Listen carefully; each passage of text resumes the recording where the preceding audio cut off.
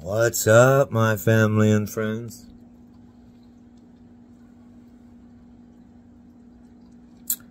You know, if I had but one question to ask God, I would ask Him out of all human suffering,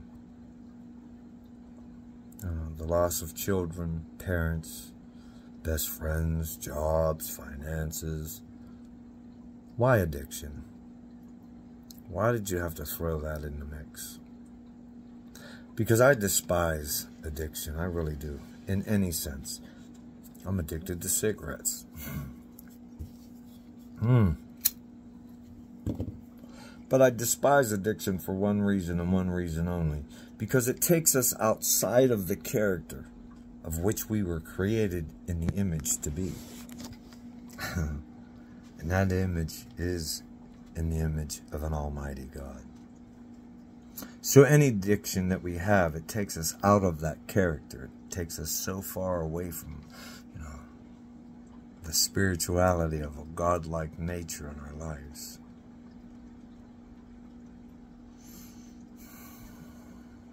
And I say this all because yesterday on my way home from work around 3 o'clock, I pull up at Country Fair. There's an individual sitting out front.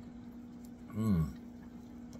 I happen to notice because um I, have you know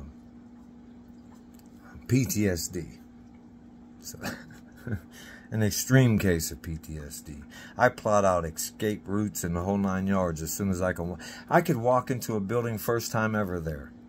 And immediately I'm looking for escape routes, you know, exits, blah, blah. It's just who I am. But nonetheless, I pull up at 3 o'clock somewhere shortly after 3 because I get off at 3.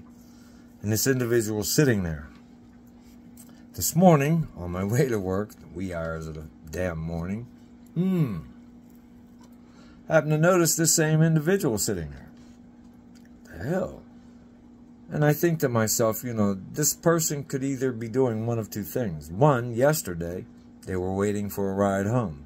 This morning, they're waiting for a ride to work. But what are the chances that they would be waiting at the same time I'm traveling? Slim to none. This little thing in my heart said, ask. So me, yo, you alright? This individual looks up, tears in their eyes, starts spilling out this story. My level of empathy goes off the charts because that's who I am. So I said, let me go into this store, get my coffee and a muffin. When I come back out, I'll figure out what we can do to get you some help. Hmm. I go inside the store, I talk to the store manager. This manager confirmed everything that this individual told me.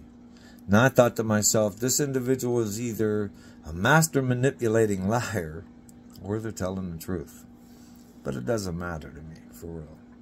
What matters is, am I in a situation or am I in a, a position in my life where I can help this individual? Yes, I am. Hmm. So I come back out and I tell this individual, if you can get in my truck, if you can trust me long enough to get into my truck, I can do one of two things for you. I can either send you home or I can get you help.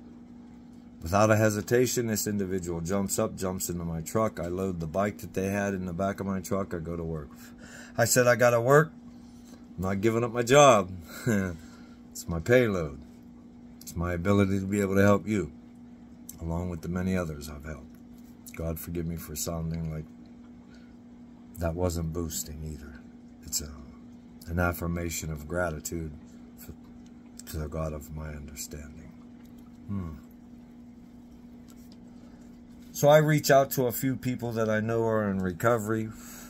A couple of them said, look, bro, if this individual is still in your truck at 3 p.m., you get them here and we will get them help. But the help that we can offer them is recovery help. 12 step programs. So on my lunch break, I go out to my truck. I drive to a local, um, you know, fast food restaurant. I get us a meal. I drive down to a local park. I tell this individual a little bit of my story. I'm all too familiar with recovery, prison, whole nine yards. Dancing with the devil under, uh, you know, blue moon. And I tell them, I am willing to help you if you really want help. In one of two ways only. One, I'm not going to help you by giving you my hard earned cash. I'd be foolish to do so. The Bible tells me a fool and his money is soon departed. Wish I'd have learned that earlier on in life. But I tell this individual, I know what you're at. I know where you're at. Been there. So I can do one of two things. I can buy you a ticket home. It doesn't matter if you want to travel first class on an airplane or you want to ride in a bus. I'll buy you a ticket home. Get home, get your life right. Which was in Arizona. It's a long way away from home. And my second ability to help was to get her into a safe place, a recovery house. At lunchtime, by then, you know, the people that I had reached out to me said, if this individual is still with you at 3 p.m. when you get off work, you get that person here, we'll get them some help. So I relay this to that individual. I can either send you home or I can send you to a rehab. Funding is no question. You don't have to ask that. We're going to get you help. My boss tells me that when he came out, somewhere around 12.30, 1 o'clock, that individual was gone. It kind of broke my heart, you know. So, I, you know, I, I say a silent prayer. I did what I could do. I, I was willing to do what I ever, whatever I could do to get this individual either home or some help.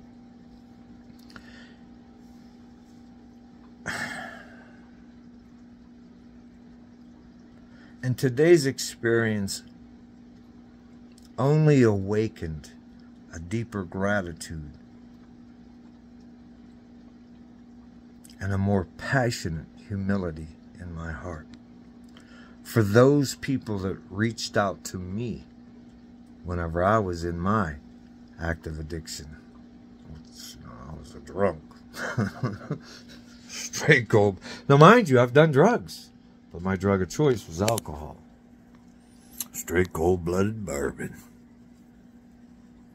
So I want to apologize to those individuals that might be watching this video that reached out to try to help me, and I didn't take that help. I want to apologize to you for investing, for you, investing your energy, your time, your patience, your love, and your kindness into someone that didn't want it. I apologize wholeheartedly because I now know how that felt. I really do. And it's kind of humbling, you know.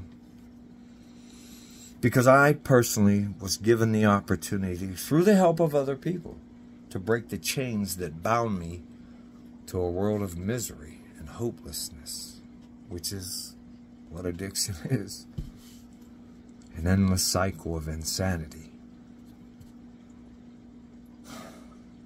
So I apologize to all of those that ever reached out to me, and I either shrugged you off or just ignored you. I apologize. And I love you. And I hope because of me, you didn't give up trying to help other people. Because even though I couldn't help this one individual, I will do the same thing for the next person. it's, it's, it's who I am. Uh, sometimes I hate this thing called recovery as well. Because it gives you a heart. You know, gives you you know, when I first got into the program, I used to hear about these rewards. You know, in my addiction, man, I didn't give a damn about no when I dump you on. Violence was like second nature to me. I didn't, like, I didn't care about shit. I dump you on your head, take some shit from you, whatever. The rewards that I required in the program are rewards like empathy, care, can, true, and I mean true, genuine concern for another human being. Which is something I, I never thought I could actually have after my son was murdered. I wanted to murder the whole world. you know, that's how angry I was. I not only was angry as hell, but I became even more delved into my alcoholism than I had ever been before. I want to thank all of you. Everyone that I reached out to today that said they would help, I thank you. I thank the individuals at my place of employment um, that gave me any suggestions, that joked with me about what I was doing, even though some of their jokes was a little uncolored. I appreciate it. Because each and every one of you let me know in some small way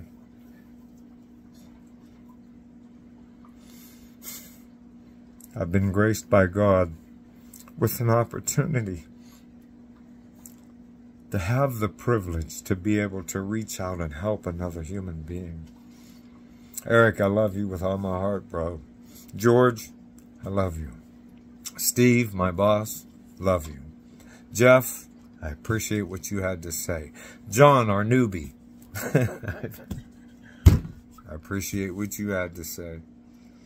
I love all of you, man. You made me realize that I have come so far in my growth as a spiritual human, not as a religious human being that believes in God, but as a spiritual Christian that believes in God Almighty, I've come a long way. And I appreciate each and every one of you. I'm going to get off here now because I got a little emotional. And I don't want to... I don't want to see you... I don't want you guys to witness me crying like a little girl. Peace.